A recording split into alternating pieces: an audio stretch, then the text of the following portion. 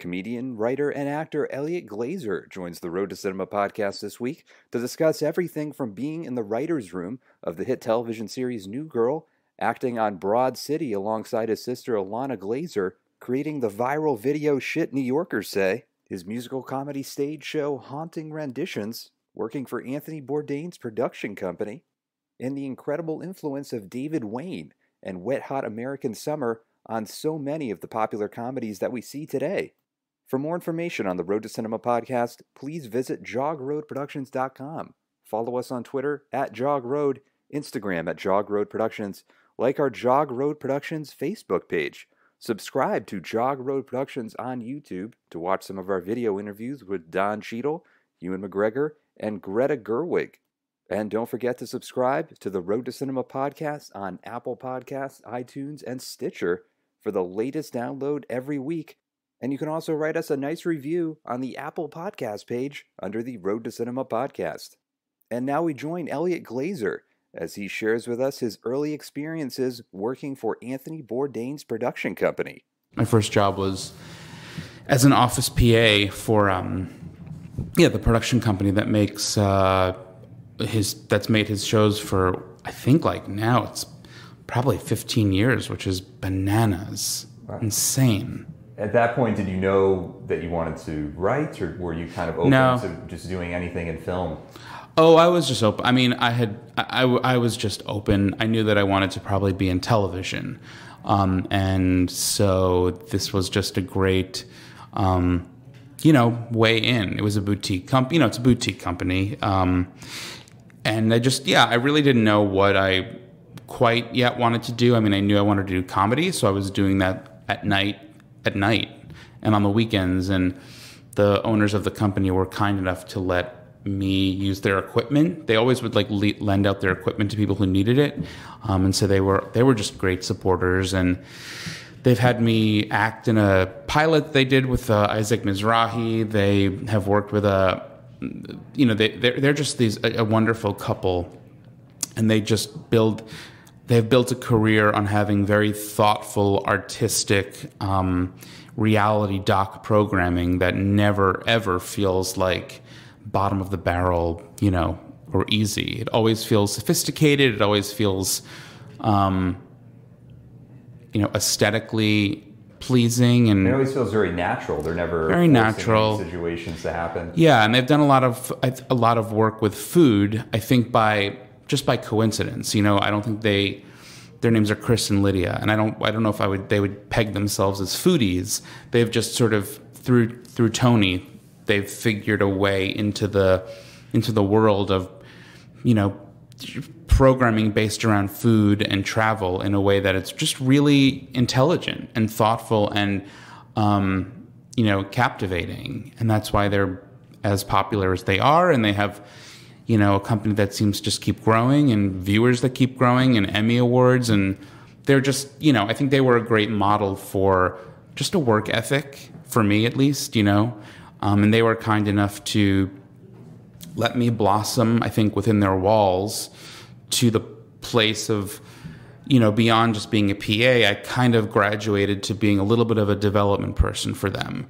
Um, and that was, it was all just very helpful in, sort in helping shape you know what I could do skill wise and and you know in terms of like technicality and then and then apply that to my own projects. You really thought it was sort of like blending technical and creative. Very much, yeah, very much. And I mean, even this year, I shot a uh, a sizzle reel for a show that I want to that I'm trying to sell in the sort of the reality doc world, and so having the you know no reservations format drummed out so much in my head. It, that was, you know, even though what I'm doing is a little bit more irreverent and absurdist, it still kind of lives in that space. And so they were so, it was just a really great way to get my, you know, wrap my head around the, the real production that goes behind shoots. You know, you have to kind of live it to, you have to live it to understand it. And at the, you know, at that point I was, you know, witnessing it and seeing how it worked and then being and then applying it to basically you know sketch and web series and stuff like that and and uh, it was really that was really helpful Are there certain things that you feel like you always keep in mind when you're out shooting or writing that sort of mm. go back to sort of some of the technical things that kind of help make something really interesting? And I mean, honestly, it's it sounds very utilitarian, but just being aware of the crew is a way to lead, I think, on a set. You know, the crew is the backbone. It's it's those people who make or break something quite often, and uh, they just deserve as much respect, I think, as the actors and the and the producers and anybody who's above the line. Yeah, th- th- you know, and they do that on they do that at the production company. They do that with Bourdain's shows, and I mean, with with with that show in particular, with with um, no reservations, crews were going out, you know, to remote parts of the world, and you know they were really kind of braving the elements in, a, in, in a lot of ways, and so it wasn't as necessarily posh as one might think, even though it's Anthony Bourdain.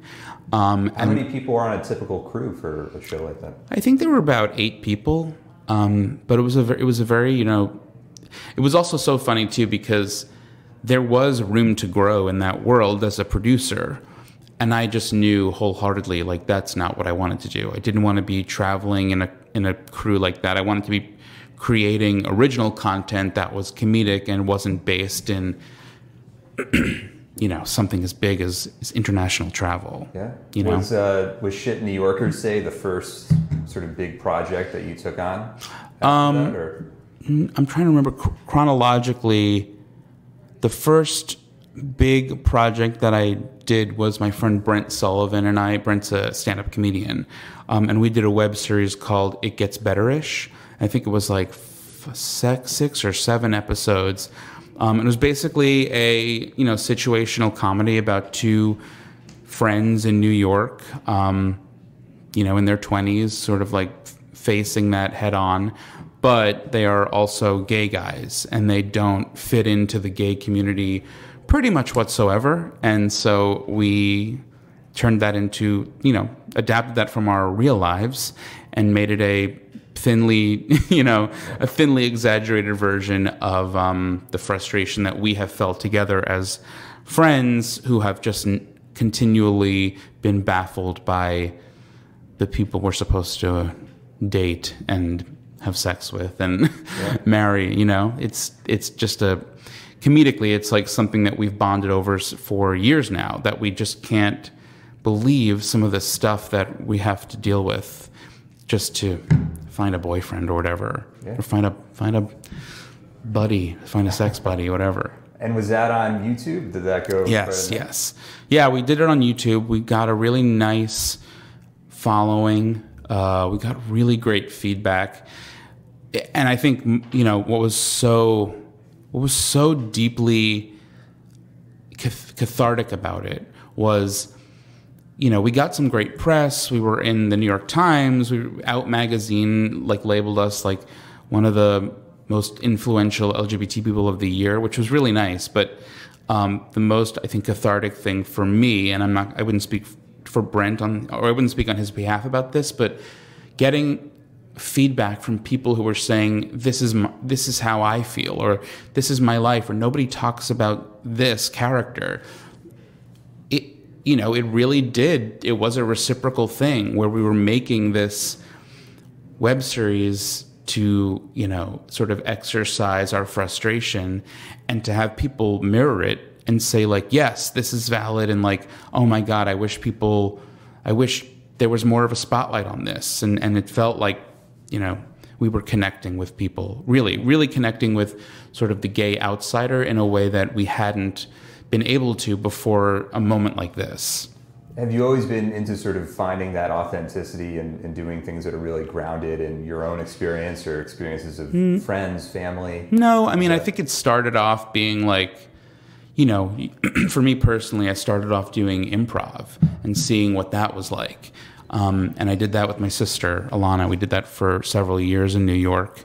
Um, and that's how we met Abbi. Uh, and sort of we created this like indie improv group, and um, I mean, it's sort of like unfolded from there. But we did I did improv. My sister and I had a sketch show at the UCB for several years, um, and so I, I I was trying everything and seeing what really stuck.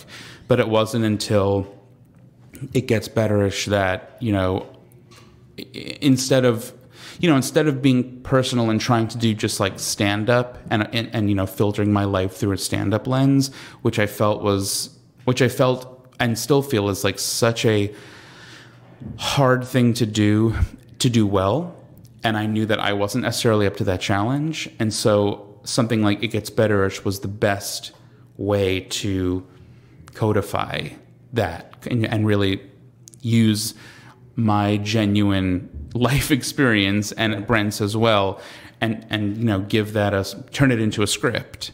Um, and since then, yeah, I, that that certainly it just feels right to just be genuine and true to myself um, because that's what really does, for better or worse, and sometimes for worse, it does translate and it does. Yeah. You know, it does really resonate with people, and I get, you know, that's a lesson that I've also learned from you know my sister. And and you know she as one half of, of broad city has really helped you know i think um, validate that that's that is true. The more real you are and whether or not that means you know being vulnerable or being authentic or having to really do some self-reflection it benefits the comedy. It just does. Yeah. it just does have you ever been at a point where you feel like you're writing something or performing and like, wow, this is like way too like painful or way too vulnerable for me? Yeah. try to like pull back in a way. Yeah, I mean, I have a I have this pilot that's um, that I sold to Comedy Central, and so we're, we're in the pro- I'm in the process of writing the first draft of it, basically, and it just sucks to it just sucks to get to those moments where you're like, I'm pulling back the curtain on this character who is basically a, mirror, a funhouse mirror version of me and this is really hard. It's really hard to do this put this on paper you know get it out from my head yeah. put it on paper and then know that these the producers are going to read this. You know the network is going to read this and it's like a real it's a real um moment of vulnerability but you know that it will translate. You know that doing that instead of positing you know, a more um, I don't know, sexy version of yourself is going to like be the thing.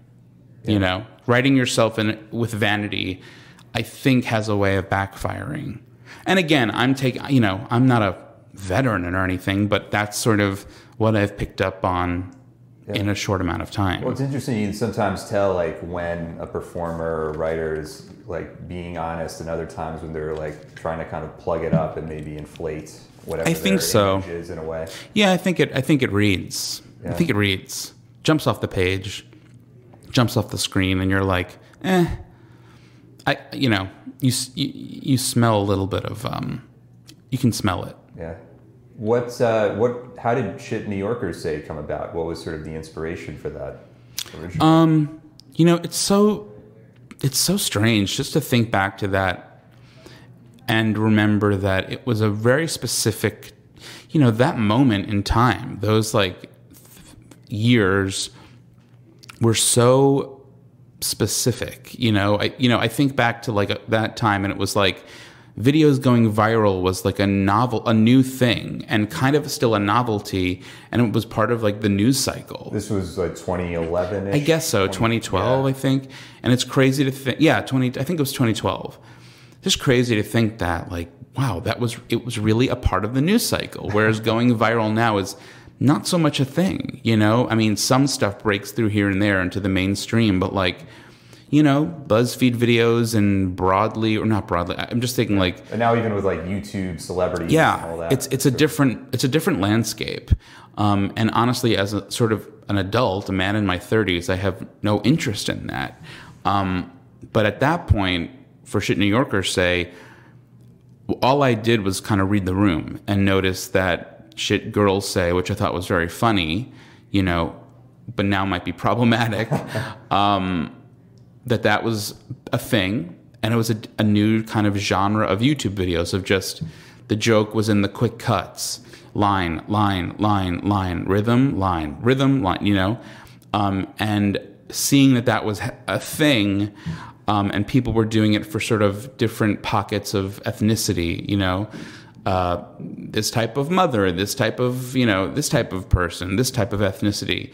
I hadn't seen a geographic version of that yet and knew that okay yeah this is this could be a thing like focusing on new york i just figured in the way that people would potentially do chicago la miami you know i was like i'm going to just get on this knowing like the the sort of metrics of the internet and so i very very quickly wrote this wrote this script you know got a couple of friends with cameras from work, um, and uh, This is when you were at Anthony Bourdain? No, actually, no. This was I don't remember where we got the. We always just sort of you know in that group of in that comedy community, you always know or can borrow f- stuff from other people. It's very reciprocal and community based. So got equipment somewhere and got a couple of friends um, to be in it. Had my sister in it. You know, she was like, "Yeah, I'll do it. Yeah, why not?" You know, it was very like over, you know, just kind of fly by night. Let's do this quickly and bang it out and edit it quickly. Did that. I think we did it in the course of a day, not you know maybe like maybe six hours, and put it up. And then the next morning, I woke up and was like, "Holy shit!" it it was cra- it was a crazy, crazy, bizarre you sent moment. it out to anyone, or No. someone just picked up on it? Yeah. Wow. Yeah.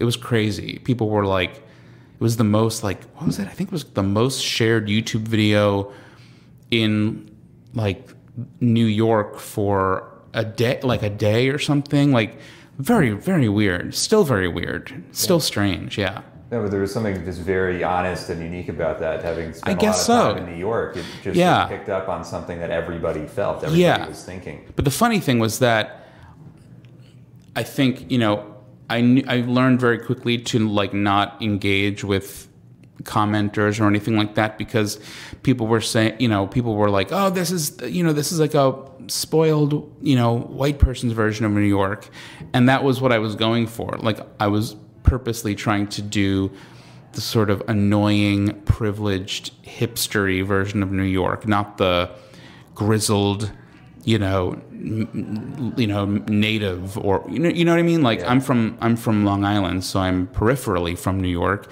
and spend all my time there and grew you know grew up going to the city all the time and um so it would but but but having been at NYU and sort of seeing the lay of the land in terms of how spoiled it is you know how spoiled you have to be to live there with a certain amount of wealth that was the version of the, the that was the sort of funhouse mirror that I wanted to to uh, you know reflect. And people were like, "This isn't you know this is so off. This is so not real." It's like, yeah, that's that's the point. The point is that it's like comedy and, and kind of satirical. Yeah. not It's commenting on that specific. exactly. It's not it's not information. It's satire, um, and referential. You know, um, and then it was weird because I had friends or you know friends in the comedy community who were like, we're gonna you know they they asked if we would be okay with appearing in a in a version of it called shit native New Yorkers say.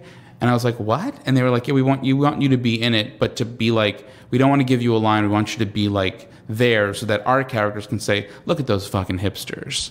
and I was like, "Why would I want to do? You know, like, why would I do that?" So it was very, that was very bizarre as well. You know, it was like, "What? You're asking me to like be lampooned by you guys trying to kind of like, lo- you know, glob onto something I did already?" It was very odd, very odd.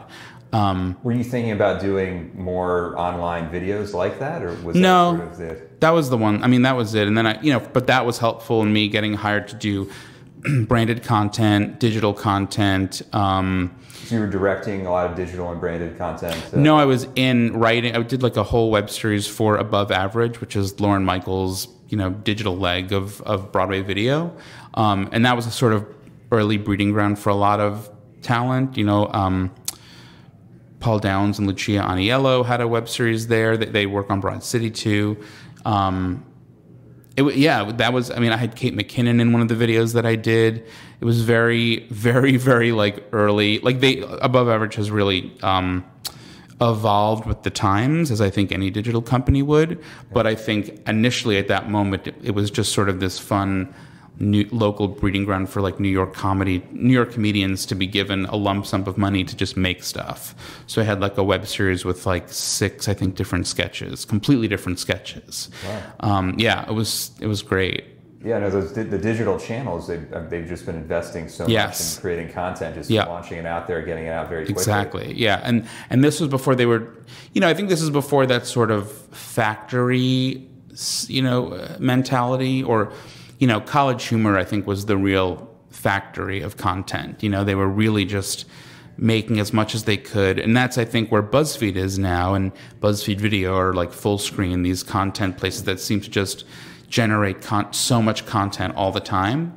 Um, Snapchat too, you know. But uh, at that moment, yeah, that was a sort of like almost like the artisanal version, you know, the, the 1.0 version of a content farm. Yeah, and now Facebook, I think they're Yeah. starting content too. Totally, completely. Yeah, it's uh, it's changed rapidly within you know very little time. I think. So I was interested in learning a little about the the improv group you were in with Abbi Jacobson and, and with your sister. Yeah. So that transformed into you eventually acting on Broad City and sort of playing Uh, yeah, yeah, yeah. Brother. Yeah, um, I dra- I dragged Ilana kind of not kicking and screaming, but I was like, "You, we have to do imp- we have to do improv together." I think she was in, still in college at that time, and I was like, "We have to do it." Like she, uh, you know, I've always thought my sister's so fucking funny, and so we did uh, we did improv at the UCB and sort of rose through the ranks, I think, as any students wor- would. But then we very tenaciously pitched them a show a little too early, I think, in our process, in our placement within the program. But the artistic director seemed to really like us and gave us a spot. And we had this show going for three years, and that's how we sort of met everybody. Um, and early on in those improv classes, a lot of people created these indie improv teams to, you know, perform around New York. And uh, yeah, we, we it was me and Ilana and Abbi, and then um, a few other dudes, Tim Martin, who's an actor, um, two dudes who are uh, animators. Um, so it was, yeah, this it was called Secret Promise Circle, and it was like six of us just doing improv, and we were coached with like Bobby Moynihan and Adam Pally. Um, so yeah, it's, it's crazy to think back on it. So do you see yourself as an actor? Do you see yourself as a writer? Is this, you sort of feel like you're sort of everything in a way? I think Or- I'm yeah, I'm everything. You know, um, my you know my manager calls calls me a multi hyphenate. You know, and I and my agents do the same where they can pitch me as an actor for commercials. They can pitch me as a series lead. They can pitch me as a recurring whatever you know whatever it is. I can. I'm also doing voiceover auditions, and I'm writing for TV. And you know, the bulk of my income, at least, comes from writing for television. Um, but I'm doing everything. I think in a way that, God, I mean, in a in a weird way, I wish I wasn't so. Did you ever expect that to happen? Did you did you feel years ago? Well, Yeah. I'm going to be this, that, or the other. I'm going to be all of it. I think way. my Yeah. first moment was like the first time I the first time I saw that you could make money writing comedy was when I interned at Conan in college. And that blew my mind. Just blew my mind because I was somewhat of a comedy nerd, but it really wasn't a thing in my head until I discovered Stella, you know, Showalter, Ian, Michael Ian Black, and David Wain performing underground shows in New York.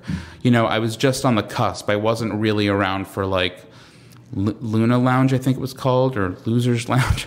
I'm, you know, these these these early alt comedy shows, but I was there for Stella, um, and that really blew my blew my mind, like completely blew my mind, and that's how I f- sort of found my way into the scene. And uh, yeah, interning at Conan was like, oh fuck, this is real, and these guys are making money from from writing comedy. Like it blew my mind. And then I interned at SNL the year after that, and just you know just couldn't believe it. Just just couldn't believe how how how cool it was. Um, so maybe I initially saw myself as an actor first, but I've always you know liked to perform in some capacity, and so I think it really just kind of the idea of what I could be congealed when I saw other people, you know, rising through the ranks by doing whatever they you know, wanted to do, whether it was act, whether it was do stand up, write web series stuff, digital content, write for other shows. I just realized I can do that too. So that's sort of where I've landed. When you're acting on Broad City, do you have that sort of writer's instinct on, or are you open to sort of improvising when you're there and kind of adding to what? Oh, yeah, for sure. Yeah, there's definitely an improvisational, you know, I think when you're writing or acting on a small cable show, your budget is tight, you know, and so your schedule is pretty tight. I mean, I've also that's I, I don't know if that's true because I've worked on New Girl as well, and you're also even with a big set and with a you know huge cast and huge crew, you're still trying to beat the clock and make sure you don't go a minute over lunch because then it'll be overtime. You know, it's a whole it's a whole thing. Yeah. Um, but I certainly do feel like yeah, on on smaller cable shows there is a little bit more room to improvise depending on what the director wants. Um, and on Broad City, I think just because of the nature of the the familial nature of the set and everybody knowing each other and coming from the same place. I mean, literally you know, having the same genetic code as my sister, we, we, we inherently are like, yeah, let's improvise a little bit. But there's always a bottom line. There's always a hard out. There's always a lunch to be, you know, it's, yeah. it's um, fiscally, fiscally challenging to allow that much improv, unless you're Larry David, I guess. Yeah. Unless you're Larry David. Well, when it comes to your character on the show, did you have any input in terms of what the tone of that would be in a way, or? Um, not really. I mean, um, no, I, I wasn't writing on the show when my character was introduced, um, and so since then, you know, he's a version of me that's kind of um, a little bit more, I think, bitchy and um, resistant and um, hot headed than I am in real life.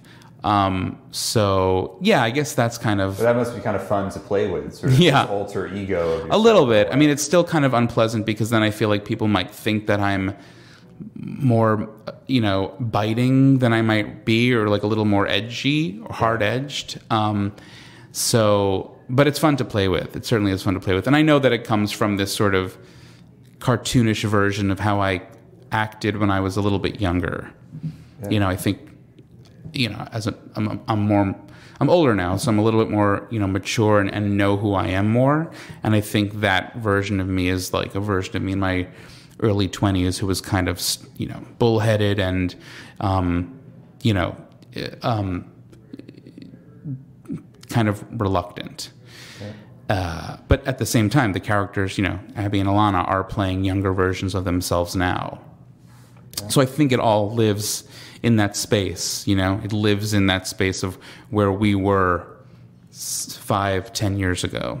Yeah. It's always interesting on some of these shows, even Curb Your Enthusiasm, where you're seeing, you know, real people play versions of themselves yeah. that aren't exactly what they yeah, are. I mean, look at still a fictional. Uh, look at Susie. I mean, people are like, people think Susie is this Susie Essman that yeah. she's this like real ball buster and like you know take no take no nonsense you know take no shit totally no nonsense and that is certainly a part of who she is as a person but she's really sweet and really warm and maternal and kind um, and uh, you know. Well, that's like a credit to her as an actress. She totally transform into something completely different from what she is. Yeah, or or just even if even if it's not transforming, she's just adding nuance that is that is. Uh, it's just it's it's great. It's a really solid amount of nuance that that differentiates real Susie from TV Susie and TV Bobby. Yeah.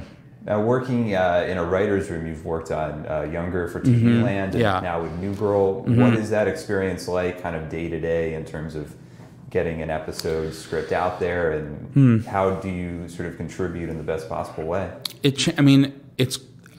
I still can't believe that it's like a job because it changes from room to room. I was writing on the show Teachers for the last uh, few months. It's on TV Land. Um, so to go from you know younger to Broad City to New Girl to Teachers, they're all different. Every room is is very different and follows a very thin rubric.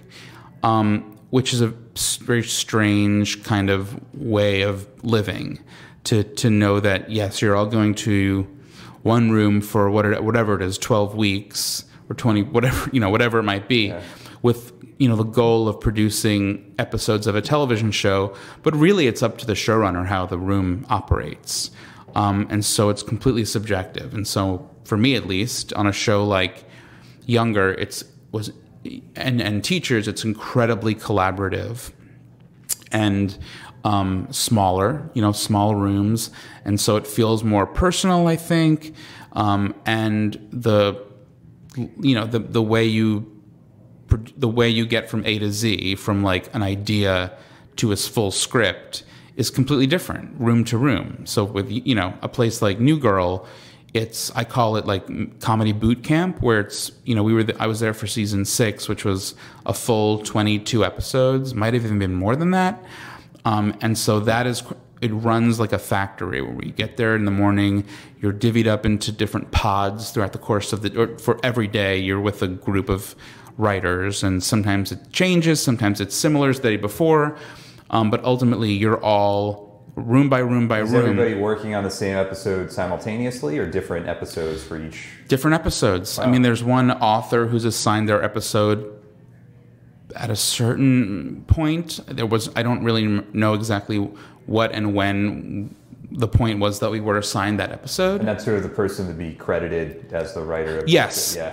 yes, and we'll write the script, but it's very collaborative. And yes, people are changing from day to day. You know, obviously, if you're writing, you know, six twelve, which whatever six twelve, um, for for New Girl, you're writing the script, so you're always in six twelve, but different people are coming in every day.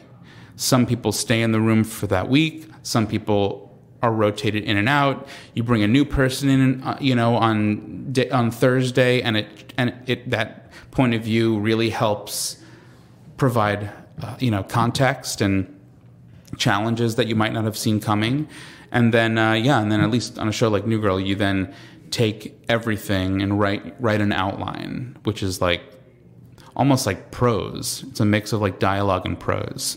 Um, and So outline, is it sort of like a scene by scene uh, breakdown within there? Or? kind of, but you're really, really more writing it more like a novel or like a novella.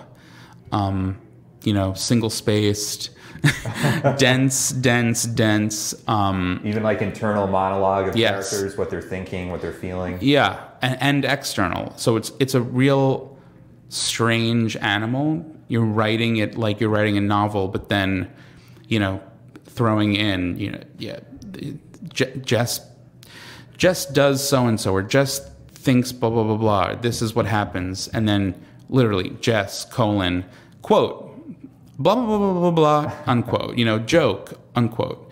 So you're you're it's a real hybrid of of um it's a real hybrid of of dialogue and and prose or stage directions. It's a really weird it's a really weird medium. How does that eventually translate into what will be the actual like physical script for production? because you take that and then uh, in a room like New Girl, you go back. Everybody reads it, and you go back in. And again, I mean, New Girl, was like eighteen of us, and so everybody has read it, and now it's now it's stage two. We've all read it, and so now let's break it down together, see what works, see what doesn't. Do we need to change anything? And then once you've finalized the outline, then oh my god, I'm already forgetting. Then I think you. I then I think that's. I think then that's when you go. I can't. For, I'm forgetting now. I'm actually forgetting the process. It's been a while, but I. But It there. sounds, it's such like a long. It I didn't is. realize how extensive like each step is. yeah. really No. Yeah. Yeah. It's it's it's sort of. Yeah, you sort of like what's the term? Hurry up and wait. You know, you're Yeah. getting that outline done, and then it's like really unpacking it. And then I believe, and maybe I, I hope I'm not wrong, but I think from there, once you're good to go on the outline, you then have a week to write that script, and you go off and do it. You know, you do it yourself. Um, Once it gets into the shooting process, or writers on the set tweaking things. yeah, that's so far. It feels so far ahead because you're writing that script over the course of a week, and then it is just once it's in, everyone reads it, and then you go and you break it down again. Yeah. And so I think at that point you don't even rewrite it so much as you re- rewrite it in a group. I think one, if I'm remembering correctly, and I might be wrong. At this point because it's been a while, but I believe that yeah, we would bring that script in, everybody would read it, and then you would sort of break down what works, what doesn't, what needs to be rewritten, and then that is then you jump back into the collaborative day to day thing where you're maybe hard breaking a story again or re-breaking, um, and then it you know you're going through those channels all the way to you know the script being ready to go and you know yes you're you're on at least on that show you're on set for your episode um, which is also a very you know fascinating place to be. And i was on set for my episodes of younger but all, even that was also interesting i mean it's just a interesting place to be because you have a certain level of authority, but then you also don't. But you also don't want to assert. I mean, for me at least, I'm only speaking for myself. You know, you don't want to. He's on the set, there's the director, then there's the showrunner. Oh yeah, showrunner's not usually on set. It's like the director, the DP, the whole you know the whole crew. Um, no, showrunners are uh, at least uh, from we what I've seen. wonder in television how much power the director has in sort of So much power. Yeah. yeah. Yeah, I mean, from what I've seen, yeah, they, they really do kind of lead the way um, aesthetically and in you know the acting, the acting. You know that that's really a the director is is ver- very much at the forefront, and that's again just in my experience, but yeah, very much so. And then are you asked to sort of rewrite things like on the spot, like, hey, this joke isn't working. We need Yeah. a joke in five minutes. Like, Yes, but then like on a show like New Girl, because it's such a you know big studio boot camp experience, you have five alts ready to go. Wow. And and on New Girl, like what was most fun about that was like we did an insane amount of of punch ups to. To, to, to get to those five alts, I mean, so you, there are so many alts pitched that the documents are just the scripts are humongous when they're filled with alts, humongous. Um, and then it's sort of the writer and the two show, the three showrunners um, have the, the the the the final say in terms of what goes into the alt pack. Yeah. But yeah, you got to be you got to be ready. You know, it's nothing is too nothing is too much on the fly there. Do you feel like that you're a stronger writer from that experience since you have Oh to my come God. up with so much for Yeah. you know similar situations? Oh yeah, in a way. Yeah, it's crazy because as much f- as much fun as it is, and it's so much fun. There's also this level of comedy math that has to be done, and so if you're rewriting stuff on the on the spot, it can't. It, you know, it's not necessarily just like a nilly willy joke or like what's funny. It's like what mathematically works here, what what rhythmically works here in terms of the comedy, um, and what you know what would fit into the scene and not be jarring in terms of dialogue and throw off the rhythm of how things have already been going. So you have to already know how to do that and do so in the voice of the characters. Um, yeah. So when I think when you put it that way, there's not too much, you know, left to the imagination. There's not not, not left to the imagination, but but too much done on the fly. You're in a you know in a, in, in a perfect world, you're always prepared, always prepared with literally five alts that hopefully the actors will do two of, you know, or three. Um, and those five alts have been culled from so many, so many, which was so fun. I mean, as a, in terms of just like pitching jokes, those days were the most fun. Where you, for me, where I would just be in a room where we were just. I mean, these people, the people at New Girl, were the funniest people I have ever met in my life, and the privilege of being in a room with them and pitching jokes, pitching alts all day for hours was like the greatest. I mean, truly so much fun. Again, like boot camp and you know, mind numbing by a certain, you know, part of the day, but what a fun exercise and what a fun way to use your brain. Yeah, just keep like figuring out like what would fit into this character, what would fit in this situation. Well, because the nature of that show in particular is so silly and absurd, it's at least it, it, it tickled it, it, it sort of like lights up that part of my brain versus I think it would be much more challenging for someone like myself to do that at a late night show, to come up with these, you know, uh, to, to be hard pressed to come up with, you know, the, the late night monologue joke on the fly. I think something like New Girl is easier for me because I love the humor of dialogue. I love the humor of rhythm, of the way people speak. And that that to me just comes much more naturally than than the set them up and the punchline.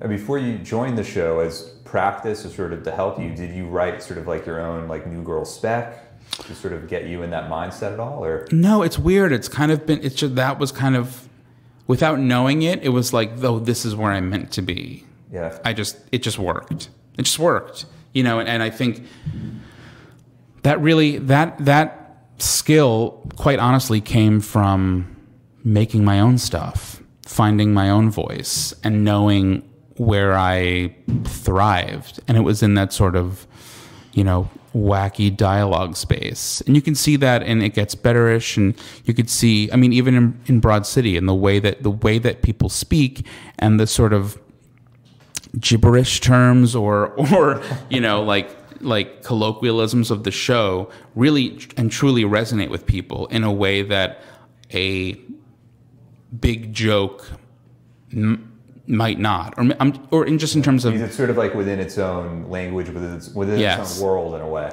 Yeah, it's like okay, when a TV show has has phrases that, in my opinion, you know, again from what I've seen, when that TV show has phrases that end up on like cross stitching on Etsy or buttons or you know or or hats. It's like okay, yeah, people people people are responding to the that language. They're responding to language, and and that is so much more fun for me than um, a setup a setup and a punchline.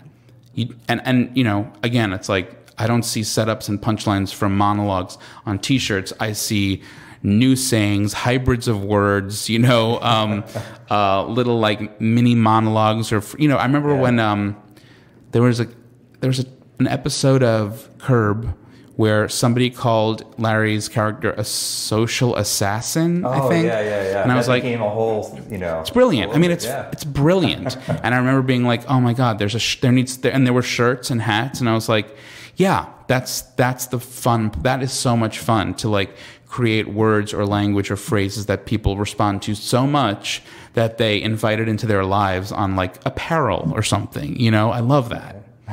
and that for me, again, is so much easier to do on a show like New Girl than it is um, like Younger.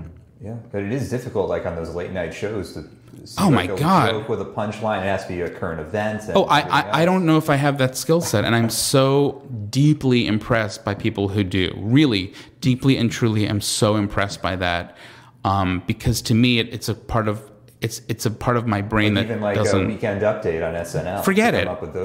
it's cra- i mean honestly it's like that's a different that's a different animal to me. I mean i even i tried i've tried to do like regular stand up but I just don't thrive trying to follow that rubric. Um, and more so, I'm blown away when people play with that rubric. Like Tig Notaro blows my mind whenever I see her because she is just she's manipulating stand up and and sort of bending it and folding it and tying knots in it that in a way that blows my mind. You know. Um, even there's this comedian Judy Judy Gold. she's in New York. Oh, she's great too. She's great, and I think people might you know see her sometimes as like a, a, a vet, an old, you know, a little bit more old school because she's a little bit older. But when I watch her perform or listen to her material, she is she's following the rubric of stand up in that she's there there are setups and punchlines, but she's also doing a you know what appears like and that's the magic of it a diarrhea of the mouth thing where she's just talking and talking and reacting and reacting and talking and reacting. And in that way she's she is sort of subversively weaving you in and weaving things in and out and playing with syntax a little and playing with context.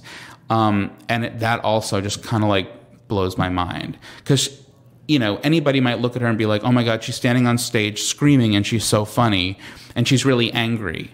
But more so than that, she's like talking about real things in a way that, yes, she's challenging you to keep up with her, but at the same time, she might be disguising language a little bit or shading it or um, adding context that you might not have seen coming. And that to me is just when, when a stand up does that, I'm so blown away that I that I'm reminded that that's not something I could do because I've tried it. And so for me, you know, my stand up is based in music. So I do I do a live show here in LA, in New York, every few months or so. I started in New York in 2014, and so I do it here and there and at festivals, and then I'll do. Do you have another performance coming up? Or? We're figuring out the date. It looks like it's going to be in March in New York and April in LA. Um, so not positive yet, but lining up those dates. But anyway, the, the show is is uh, it, it's it's sort of I figured out that it's like the best way that I could be on stage. It's my it's the closest thing I could do to stand up without it being stand up. Um, basically, it's me, you know, singing melodramatic, rearranged versions of really shitty pop songs, and and prefacing it with uh, a sort of you know over intellectual or, or blow you know blowhard intellectuals version of liner notes and musicology like a, like a dumb musicologist talking about Katy Perry but like wrapping in politics and and you know the, the social climate and um, privilege and gender you know just trying to sound bombastic or try, or being stupidly bombastic about music but then singing a singing a version of it that is different, that is operatic, and that kind of catches you off guard and makes you think something like, I've never actually listened to the lyrics, they're so stupid. or why is this song making me weepy? Or like, how am I being touched by a song by Smash Mouth or Wham? You know, just sort of playing with that medium. So like when you don't realize the specific language of the lyrics at all, like you just let the you never heard them. Over, you never heard them. Yeah. Like we do. What's the song that had that happens with? Oh, for me, I, I think, um, you know, one song that people constantly are like, what? I've never like, I know the lyrics, but I never actually stopped to think about them is um, Skater Boy by Avril Lavigne. You know, it's basically Romeo and Juliet, but like in the early 2000s with like a punk, you know, punk pop kid or whatever. Um, and it's just, I mean, it's just, it's pretty insipid. And then when you stop and hear the lyrics, you're like, how, how did that even, how is that on, how is that it? How is that the final copy? And that happens with a bunch of songs that that I sing because I think it's really funny to not all I'm doing is all I'm doing is shading the song. I'm just recontextualizing it to sound different. I'm not hitting you over the head with it, and I'm not necessarily saying, this is like this, or can you believe this and this and this? I'm just letting the song live and breathe and then remind you that you know that you can't believe you know this song by heart, but you never realize that it that it's about this. Yeah. That the words mean this. That's so dumb. That's so silly. How did how do I how did I know the words for this song but not have any idea that the song is about such and such? What is the name of your show? Uh, it's called Haunting Renditions. And so I started it as a web series in 2014 with my friend Seth, who I grew up with, and he, he works on um, everything I do basically. We collaborate really well and have since middle school. uh, and he works at Jimmy Fallon. Um, and so it was a really a passion project of mine, um, a vanity project, quite honestly, where I wanted to recreate a sort of smoky MTV Unplugged Austin City Limits thing, you know, aesthetic, um, but with recalibrated, rearranged, ridiculously melodramatic versions of silly songs. And so we we shot it at this uh, art space in New York called Dixon Place. We had uh, my friend Mike Fram, who is a uh, middle school, uh, sorry, a high school principal, but was also, but it was initially a music teacher and was the musical director of our improv group in college. He and I arranged these songs together um, and shot, I think, six of them. We did a Destiny's Child song, Bugaboo. Avril Lavigne's Skater Boy, California Girls by Katy Perry, a song by La Bouche, um, and Paula Abdul and MC Scat Cat. and, uh, and then I forget there's one more, but we shot it with a full band. We had a full band play it, we recorded it, and then we shot it that way. Um, sort of crammed it all into one day. I mean, to the last fucking minute. And I had to rush across town to do the monologue at ASSSSCAT that night. And so we were just shooting this crazy web series to the last, I mean, literally to the last minute of the day. Um, but with that being said, it was just sort of our own little cult vanity, not cult, our own little vanity project that found this little cult following. But then I turned it into a live show. And then from there, it just, the audience just kept, we started at a little venue in New York called Union Hall and we just it kept growing and growing so we moved it up to a little bit of bigger venue and then have continued to bring it to you know bigger venues in both cities um, but I've done it at South by Southwest, and I've done it at Sketchfest, and um, and then I'll do the same thing at other people's shows, which means it has to be a place that has a sound system, so that I can't. I'm not just. I can't just go to a show and just do regular stand up. Again, like that to me is not something I could thrive at. So this yeah. is what I'm. All I'm saying is this is this my sort of version. Translates into your version yes. of what stand up could be. This is where I feel comfortable on stage doing because I trained. I initially went to school for opera, so I'm I'm you know very musical, and so this was the best way to do that without doing straight up stand up or quite honestly now I, I never wanted to do the kind of goofy tongue-in-cheek silly songs or parody songs it just doesn't do anything for me and i don't think it I feel like it sort of knocks the wind out of the audience immediately because you know the joke immediately. Whereas this gives a little bit more of a build and it, it sort of it's a little bit more avant-garde and challenges you a little bit and you know my favorite response whenever I do the show or I do a version of the show or a song here and there is when somebody says, I wasn't sure whether to laugh or not.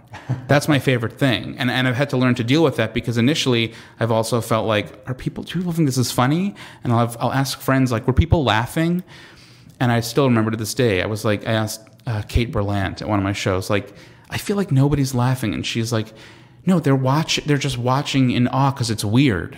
And I was like, oh, well, that's great. That's great. I'll take that. I like that. It's almost like uh, Andy Kaufman, what he did in a way. I mean, I, I'd flatter myself to, yeah, to, to compare myself to that. But yeah, that's try, that's what I'm, you know, like I think of people like Kate Berlant or John Early or Reggie Watts, you know, um, even like Zach Galifianakis, you know, people who go on stage and confuse you with comedy. That's that's my bread and butter. That's my favorite place to be, and that's why I sort of speak so highly of Tig I think Tig is a, an amazing stand-up, but she also is can be confusing in where she brings the material and how she repackages it. Yeah, I love that. And even in her show, it's so honest. The uh, the show she does for Amazon, One Mississippi. Oh my God! Excellent, yeah, excellent work. But like I, I like she did a bit and maybe continues to do this bit where at the end of her stand-up shows or live shows or recordings or whatever. I mean, this is just from one stand-up show she did at the Ace at the end of the show, she um, uh, surprised the audience with um, the Indigo Girls coming out, and really built up to that, and then gave away that she just made that all that made it all up. but then she reneged on that and said, "I'm just kidding. They're actually here." And then she reneged on that, and that and it went on absurdly long. And I think I speak for everyone when we were like wait, are they actually here? Like we didn't, even after like she did it many, many, many times, I think people were complete. I know I was completely like, maybe they're here. Like, I don't know where this joke ends. And this was also at a point where she had been on stage topless for a ha- good half of the show, topless, you know. I mean, and, and she has she had a double mastectomy from breast cancer uh, she so she's walking. I mean, this is a woman walking around topless at post mastectomy. I mean, it was crazy. Like, what a wild scene to be set. What a wild, what a wild visual. And then for her to be doing that, and then doing this bizarre, you know, like, uh, you know, continuous until it's abs- like absurd until it's not absurd anymore, and then it's absurd again. Bit with the, the Indigo Girls was like wow, what am I watching? This is so evolved. It's so challenging. So it's interesting to see with comedians where they can extend that line between what's real and what's sort of fictionally part of the act. Yeah, I mean Reggie, you know Reggie Watts, like he goes on stage with that little machine, a little box. I don't even know what you'd call a loop machine or something, and just goes on stage and he, there's a formula to what he's doing where he's basically like speaking, then doing, uh, he's looping and doing a musical bit, speaking, then looping, doing, and so it's it's the structure is not that complex, but when you watch what he's doing, he is like, I've always thought that he does this thing where he kind of you know satirizes language and and um, not semantics. Is it semantics or, or, or, semiotics? I think that's the right word. But he's satirizing language in the bits that he does. And again, I can't even explain it. But he's yeah. he's sort of a, a, satirist of language and how we speak and and like how people sound and what it sounds like, what language sounds like in different spaces and countries and. I don't know. I don't really know how to describe it, but I love how it's always challenging and always it's always weird. Yeah, it's always weird. It's kind of evolved out of the standard stand-up comedy. Sort of I don't know. I don't know. I mean, it's so. It, I, I honestly don't know. I always ask myself, like, am I in a world where that's the where we have evolved out of it, or am I in a pocket where even you know, like what's real club comedy? You know, I don't know. I, I at this point, I'm like, what is real? Because I've never done a show at the improv or actually, actually I have done a show but like like the Laugh Factory or or the Comedy Cellar like I have never done shows there but you know Chris Rock does shows you know these these you know um, titans of the industry they don't you know Jerry Seinfeld you know um, Amy Schumer Chris Rock you know these people are doing shows at clubs Caroline's in, in New York or the Comedy Cellar. I don't know. It's very hard for me to sort of calibrate where everything is because I'm so in it that I just don't know. I don't know if we've if if alt comedy is mainstream or I, I just don't know. Even though I feel like as somebody who's been you know, who was a fan of Wet Hot American Summer from the moment it came out, I was like, what? Like I was always, I was uh, in the end of high school, and so, as a freshman at NYU, seeing this quiet, slow build of you know a cult fandom for Wet Hot was really, really weird because I distinctly remember going to a late night screening of Wet Hot, and Janeane Garofalo came and Michael Showalter came. I think honestly, I think Bradley Cooper came, and it was at a theater in like Midtown, and people showed up, and some in costume, but it was not a big crowd. Yeah, and that but, movie really didn't have its success until later. It kind of caught. It didn't, right? Yeah. But I watched that happen fearfully, knowing that like, oh my god, if this catches on, then people are going to have access to the language that I thought was belonged to me, my friends and me, an absurdist comedy language. You know, little did I realize that was happening. You know, in New York and in LA at these like alt in the alt scene, but I was still young enough to be like, oh my God, if this movie catches on, it's going to sort of trickle down to the masses. And I think it has. Yeah. Not I just because it's had an influence on every everything that's come out since then. Every yeah. every last thing. And full circle is bizarre because I wrote um, a character on Younger that was eventually played by David Wain. And I wrote a character on Teachers that is also being played by David Wain. Very weird, very surreal, very weird. It's just so weird across the board. You know, and I know Janeane now, you know, from Broad City, and she's done my show. It's just a very bizarre place to be where I'm like, I can't believe I'm writing characters that are being played by David Wain because of Wet Hot American Summer, but does the world know? You know, does the world know of that? Do main do most people know of the influence of Wet Hot? I don't think so. Yeah. Well, hopefully now with Netflix, it, it's kind of caught on a lot more than but it was. E- but yeah. even if it did, like, I don't know if if like cultural anthropologists would know that that movie has had such a bizarre and absurdist sense of humor that, in my opinion, people globbed onto, knowing that that would give them access to like a smarter group of people or being thought of in a smarter in a smarter way or a little bit of an upper echelon intellectually and comedically and that has bled into everything into tv shows that like modern family is the sort of bastardized version of a christopher guest movie.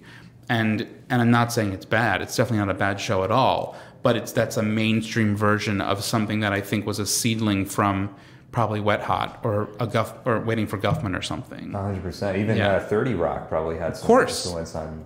A hundred percent. Uh, You know, maybe people who weren't.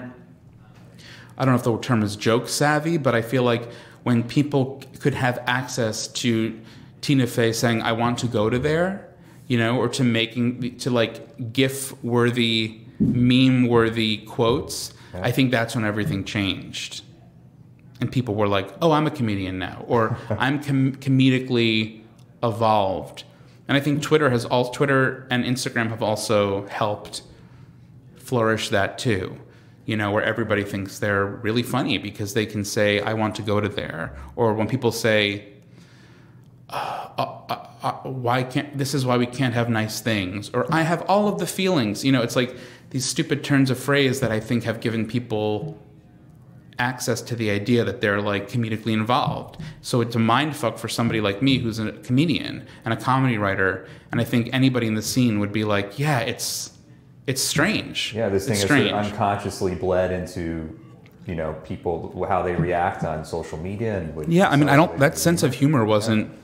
I don't know if that was present in the '90s or maybe in the '90s, but in the '80s, I don't think so. I think in the '90s, I, I think in the '90s, like sarcasm found its place. You know, I think with Chandler Bing or whatever, or like Seinfeld or something. That was when it was like, oh, if I can speak sarcastically, then that's where I'm. If I can speak with this rhythm, then that's where that means I'm funny because I can access that. But it seems like once a lot of the half-hour comedies left the whole sort of Yes. multi-cam Yes. laugh track thing, then it really transitions. I think so. way. I mean, I think people watch the uh, watched The Office, and The Office is a great show. But I think people watched The Office, and that gave them access to the idea of like comedy is in the small moments, comedy is in the quiet, comedy is in the awkward pauses. I mean, I everybody, you know, when people started saying awkward, I was like, whoa, you know, like when that translates into like commercials, peop kids saying awkward or kids saying random or so random, it just everything's different. It's changed. People, quite honestly, people saying I am all of the things or I have all of the feelings. It's like this pseudo juvenile internet way of talking that I think people think elevates them in a certain way. And uh, lastly, I was just curious, where can everybody learn about the show once you know you guys announce the dates? Oh, Haunting Renditions? Yeah. Uh, you can find them on hauntingrenditions.com. Um, and then I always, almost always post them on, I always do post them on social media. And so I'm just at Eliot Glazer on Instagram um, and Twitter. Um, there's a Facebook page for Haunting Renditions and, uh, and as well as myself. So I think we have two separate pages, but we make it as public as we can as soon as we find out. So it should be fun. I mean, we always, we always have some really fun guests. Um, my sister did it in New York. We do a holiday sort of annual spectacular that we do um, in, around Christmas. But Judy Gold has done the show, and uh, Gilbert Gottfried, and Oh, wow. yeah, uh, then some musicians too. Had like Ed Droste from Grizzly Bear and Harmar Superstar, and a couple of the drag queens from Drag Race who are really funny have done the show, and uh, it's eclectic. I mean, because it's music based and has a little bit of that nostalgic element to it. There's a lot. There's a lot to talk about, and it's a. It opens us up to a wide range of what kind of guests we can have. Yeah, and it's also sort of never end. There's so many songs you guys can. We have, yeah, the library just continues to grow, and at this point, we're almost at 25 songs, which is insane, insane. Who, who, you know, it's like you can't believe you've poured so much time into like deconstructing a Smash Mouth song, but people like it, and and it's it still is just so much fun for me that it's my favorite thing to do. Well, I'm looking forward to seeing it. Yeah. Thank you uh, for coming out today. Hey, thanks for having me. Thanks for listening to the Road to Cinema podcast. We'll see you next time.